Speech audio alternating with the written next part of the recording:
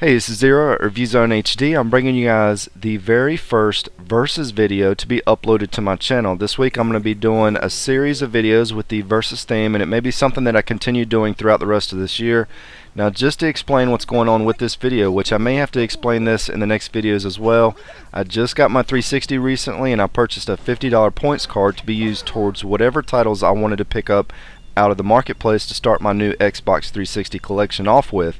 And the only title really in the marketplace that I had any knowledge of was this South Park Tower Defense game.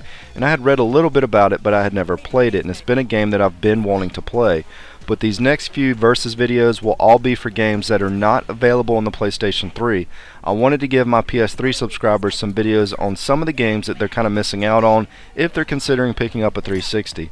Now these versus videos are not official reviews in a sense that I spent grueling hours playing and researching, testing out the games, breaking them down. This is just pretty much me poking through the marketplace, picking a few demos that are somewhat similar in theme or genre, and deciding which one I wanted to actually buy and play in my own personal time. Which, you know, I really don't get into personal stuff with my reviews, so this is going to be a little bit different. So today I'm starting with South Park Let's Go Tower Defense versus South Park Tenorman's Revenge. Now I knew regardless of how bad either one of these titles could have been that I was going to be buying at least one of them if not both because South Park is my second favorite television show right next to Seinfeld and I'm really looking forward to playing the Stick of Truth which was going to be releasing next for the South Park games but to discuss the tower defense game first it sort of reminded me of Pixel Junk Monsters on the PS3 a game that I absolutely love in fact me and Sick played that title for a solid week last year. There's a couple different types of tower defense titles that I've had experience with playing. The super fast paced, edge of your seat back and forth titles like Red Alert Commander's Challenge, which I absolutely suck at and the other type of games being like Final Fantasy Crystal Defenders and Pixel Junk Monsters that are more slower paced and gives you a little more time to think and plan ahead. South Park's Tower Defense fits more into the slower paced category, but the action itself is pretty fast paced and you're constantly running around and activating abilities and there's a lot of teamwork involved as well. After playing through the first few missions, I like how the game is balanced.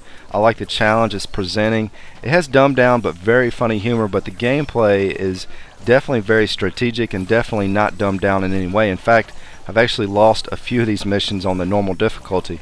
But moving over to Scott Tenorman's Revenge, which is a completely different genre altogether, the first time I played it, I wasn't too impressed. I didn't do the small update patch, and after a few minutes of playing, I cut the game off and moved on to something else.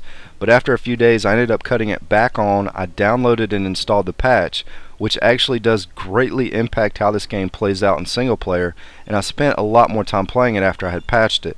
Now what this patch did for this game is it allows you to switch between all four characters on the fly when you're playing alone and every character has a special ability that lets you reach certain secret and hidden areas inside of the stage and when you're playing alone pre-patch with just one character it really sucked because you were locked into that one character and whatever ability that he has so you couldn't do certain things without playing with more people so I'm really glad that they fixed that for sure especially for people like me that just like to play the single player but this game overall, even after spending 30 to 45 minutes playing the demo, I just wasn't digging it all that much. The character movement seemed kind of stiff, the combat itself was kind of boring, and the stiff controls made the combat even more difficult than what it should have been.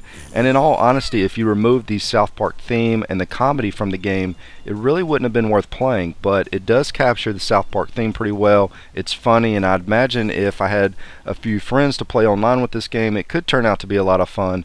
But playing the single player, just running around collecting stuff, really didn't hold my attention for very long. So the conclusion on this versus battle was I ended up buying the tower defense title and I passed on Tenorman's Revenge. It could be a title that I'd pick up at some point later down the road if I really wanted to soak in some more South Park, but for right now the tower defense title should keep me busy for quite a while. But thanks for tuning in to the first of several versus videos. This is Zero at Review Zone HD, and thanks for stopping by.